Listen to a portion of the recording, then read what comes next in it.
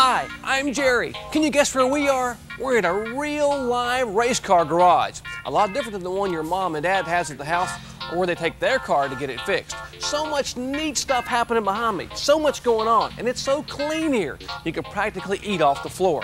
Today, we're going to build a race car. We're going to take all the pieces of the puzzle and put it together to form what we call a rocket ship on wheels. We're going to start out by bending large pieces of metal, then we're going to grind, then we're going to paint, make the car nice and clean and slick and safe. And then we're going to build an engine to put in this car that will go 200 miles per hour. That means that engine will take this car the length of a football field or a soccer field, just like that, every second. And just like the drivers and crew members, I've got my safety suit on. So let's get started. Come along. You may not believe it, but the race car starts right here. All these different sizes of round and square metal tubes. Now these are the bones of the race car, just like the bones in your arm or your leg. You may not see them when the car is finished, but they're the strongest part of the car, providing all that strength for everything else. Now to build these bones, first we got to take these pieces and cut them and shape them to build the race car. We're going to use a round saw, a very sharp round saw. Before I even turn the saw on, remember, got my gloves on here, got my helmet, just like what you wear on your bicycle, show people you're smart because you're safe. Okay, now, my mask is down, the saw is on, my hands are away with gloves.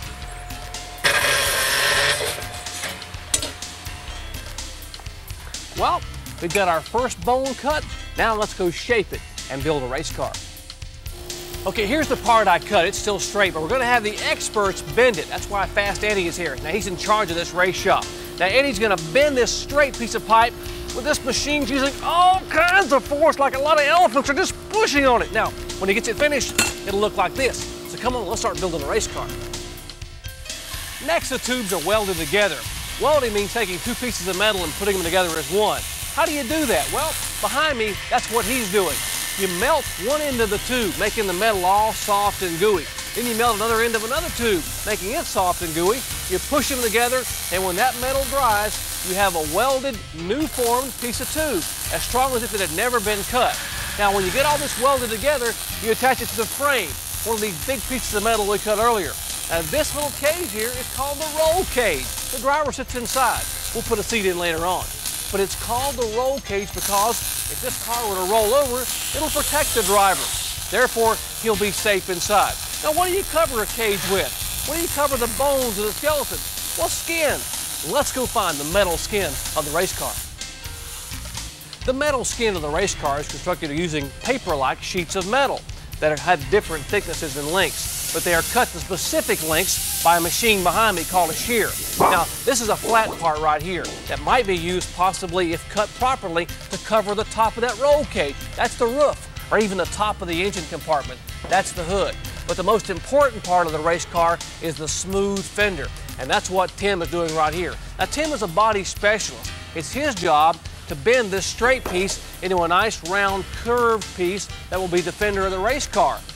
The smoother he makes that curve, the sleeker the car is. And the sleeker the car is, the faster it'll go. That's the idea of a race car, to go fast. Now once Tim gets finished with this piece right here, we'll begin taking his piece, my straight piece, we'll begin tapping them all together piece by piece and hanging them over the skeleton of the car. That's called hanging the body. Suddenly, our skin takes shape. Boy, the pieces of the puzzle are really coming together now. Here are the tubes inside that Fast Eddie helped us bend to form the steel skeleton of the car. Now they've been covered with this metal skin. Boy, what a job they did cutting and bending this part. And look at this fender that Tim made. Boy, what a wonderful job making this so smooth and round so the car would be fast. Now the outside of the car is almost done. We still got to paint it, put some decals to make it look pretty, but a lot of work yet to be done on the inside, like put the seat in for the driver and the steering wheel and all the gauges and wiring, which we'll show you a little bit later on. Before we can go racing and rubbing, we got to have an important part under the hood, and that's called the engine. That's the muscle of this car. So let's go watch them build our motor. Now this is the engine room. This is where our engine is being assembled. Everyone who works here has one goal in mind, to build a faster, more powerful engine for our race car. Now you got to understand, these engines are not built inside the race car themselves. Our car actually is being built way across in the other end of the shop. These engines are built here, put on a little stand where they can be rolled from person to person, everyone having their own individual job to give us a more powerful engine. But where does it all start? Well, it all starts right here with this big chunk of metal called the block. Now, the block looks pretty ugly, doesn't it? Doesn't do a whole lot. You have to add a lot of parts and a lot of pieces to make this block into a powerful engine. That's what everyone has to do here. Now, they use computers to grind and polish and measure to build hundreds of moving parts, take this old ugly block to this beautiful, sleek racing engine right here. Now this baby has about three times the horsepower, the muscle of the motor in your mom and dad's car. But where does the muscle come from? Let me show you. Inside this engine, there are eight of these pistons that go up and down, just like your legs on a bicycle. The faster you pump, the faster you go.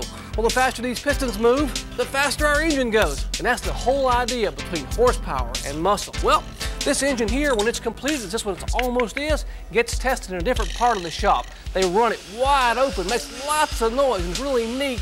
Make sure the car, the engine is race ready. Now, the engine's almost ready, but how about our car? Is our car ready? I hope so. I want to race. Come on, let's go.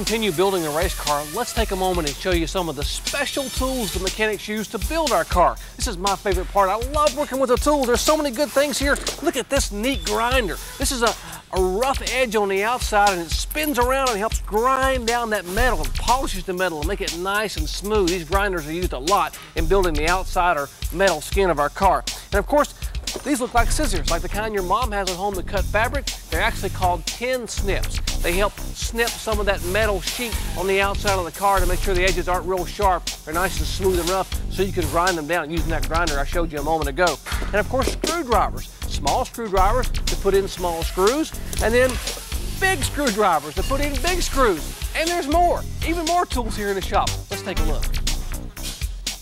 Here's a toolbox just full of all kinds of great tools. Let's open one of these drawers and take a look here.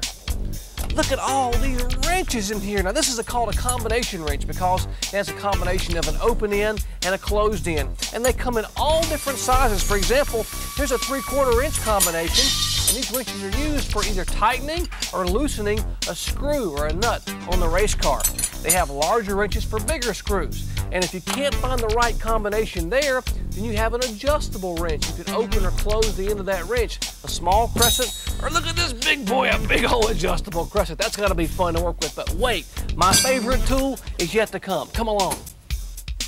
Hammers, look at all these hammers here. I love hammers. I mean, they got all different sizes and shapes. Here's a small sledgehammer, big old heavy hammer for pounding heavy objects. And of course, there's these funny shaped hammers at the end. These are for actually shaping the body of the car. The outside metal, you tap along with that pointed edge. And of course, there's even a rubber hammer. This rubber is so that when you pound metal, it doesn't scratch it. You know, if you like hammers and tools as much as I do, you're gonna love this.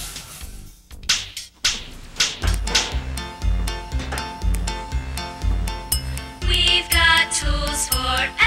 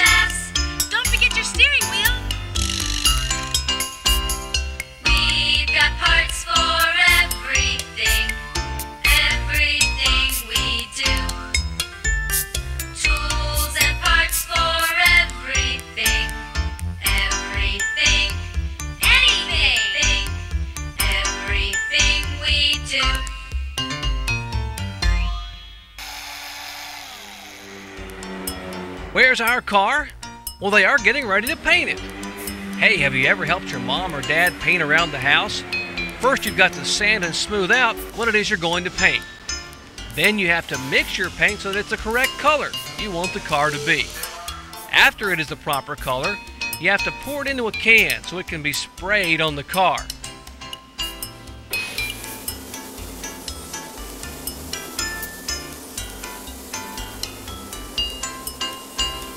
Then they put paper on parts of the car to cover it up so the paint goes just where it's supposed to go. Here it goes. They're painting our car. When the paint is done, it's time to put on the decals, the stickers. You know what they are. Like every step in putting the car together, even the decals are put on with great care to make it perfect.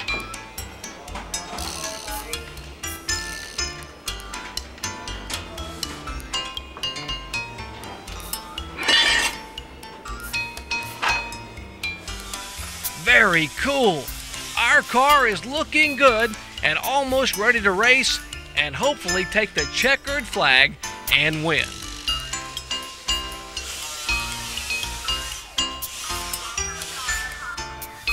Doing all this work to get the car ready to race can be greasy, grimy, and fun. Check this out.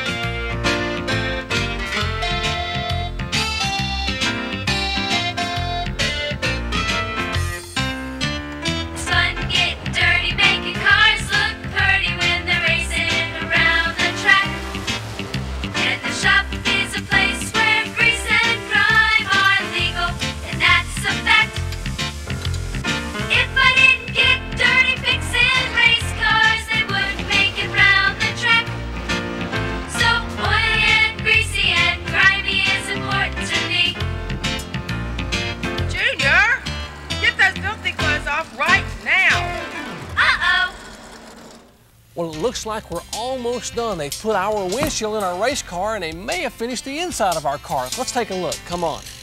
Well, look at all the stuff in here. There's nothing in here that's really very similar to what you may see in your mom and dad's car, with the possible exception of this simple rear view mirror here, which we gotta have. That's for safety. But take a look up front. All these gauges, now we'll be watching these gauges here on the dash all during the race to make sure we know exactly what the water temperature is or the oil temperature or the oil pressure and to make sure we don't run out of fuel or gas. Now over here are the switches to turn the car on and off. We can flip these during the race if you want to stop or you want to stop the car or start the car before the race. Look at this steering wheel here padded steering wheel on the outside with a big pad in the middle in case you bump against it. If you stop in a hurry, you won't get hurt. There's a shifter, switching gears, coming up through the gears. First, second, third, fourth gear, we gotta get faster and faster. But most importantly, look at this special seat with these special seat belts all around it. This seat is molded for the driver. Only one seat in this car because only one driver. It's around the top of the helmet here to protect his head, around the shoulders, and around the ribs as well as the legs. Everything in this car is built for speed and for safety. And one final point, remember those bars, those tubes we bent at the very beginning? Here they are. Here's that skeleton of the, of the car surrounded by padding to protect the driver in case this roll cage were to roll over with the car. Well, looks like we're almost done, so let's take a look at our finished race car. Well, she's all done. It isn't she beautiful? Boy, we've had such a great time touring the race shop, building our own race car together. This car looks just like a winner, just like you. So only one thing left to do. Let's go racing. Come on.